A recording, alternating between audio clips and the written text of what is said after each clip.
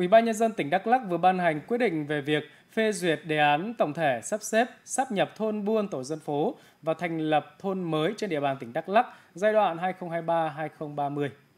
Tính đến ngày 31 tháng 12 năm 2018, toàn tỉnh có 2.481 thôn tổ dân phố. Sau khi thực hiện sắp xếp sắp nhập thôn tổ dân phố, đã giảm được 282 thôn tổ dân phố.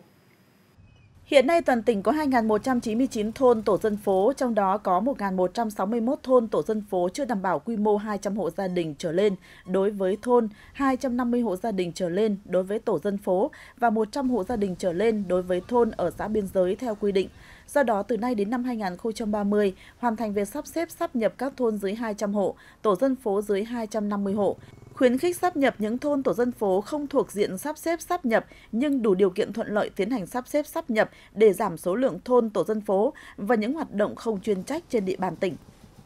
Cụ thể giai đoạn 2023-2026 thực hiện sắp nhập 402 thôn tổ dân phố, không sắp xếp sắp nhập các thôn tổ dân phố đã thực hiện sắp xếp sắp nhập trong giai đoạn 2019-2021 và giai đoạn 2026-2030 thực hiện sắp nhập 336 thôn tổ dân phố, không sắp xếp sắp nhập các thôn, tổ dân phố đã thực hiện sắp xếp sắp nhập trong giai đoạn 2023-2026.